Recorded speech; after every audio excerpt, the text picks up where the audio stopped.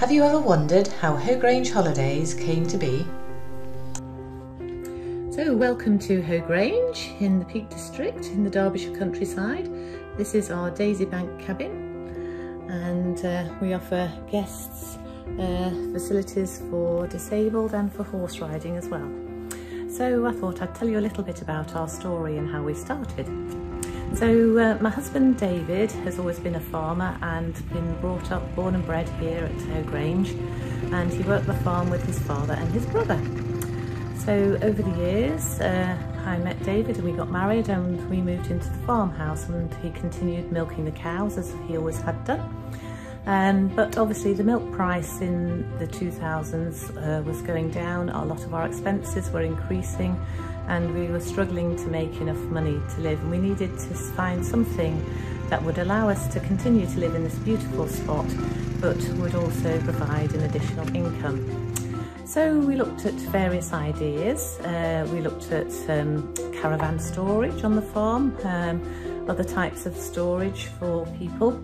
Uh, we also looked at quad biking and events, uh, but settled on the idea of holidays. And this was because about 40 or 50 years beforehand, David's father had thought about putting a log cabin on the farm for holidays. But at that time, he was told by the planners that no, um, Derbyshire doesn't do holidays. Little did they know. So he um, didn't go any further with that idea. So we went back to that and we did some market research and we found there was um, quite a large quantity of cottages in the Peak District which offered holidays. So we thought um, there's obviously a market for it, but we wanted to do something different that would um, make us stand out from the crowd. So at that time they've just designated the High Peak Trail which adjoins the farm at the top fields as a national bridleway. So we thought oh we could offer bring your own horse holidays. We've got the facilities, we've got the stables and we've got the fields to ride on so that would really work and it's something really different that other people weren't offering. Um, the planning consent also asked what will we be doing for access so we thought about it and we looked into um, uh, disabled holidays and providing facilities for people uh, who have limited mobility.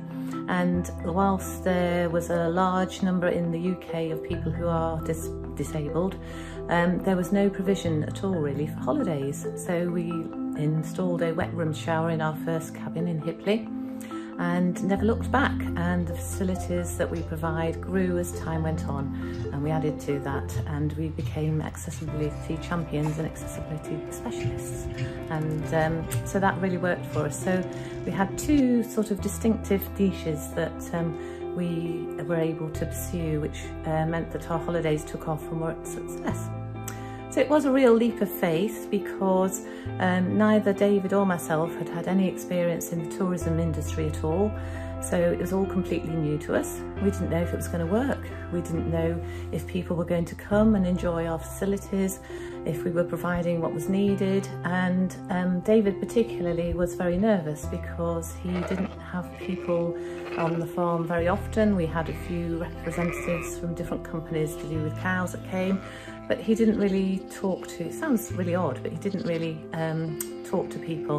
And so he was very nervous about having uh, people around on the farm that he didn't know. However, he took to it like a duck to water and he loves explaining about farm life and what's going on in the world of farming throughout the year with guests and chatting about how we make our food, where our food comes from, all about um, farming indeed. So we've never looked back.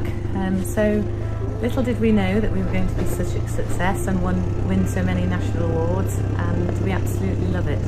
And we are actually missing our guests now at the moment but um, making plans for next year and looking forward to having some new facilities.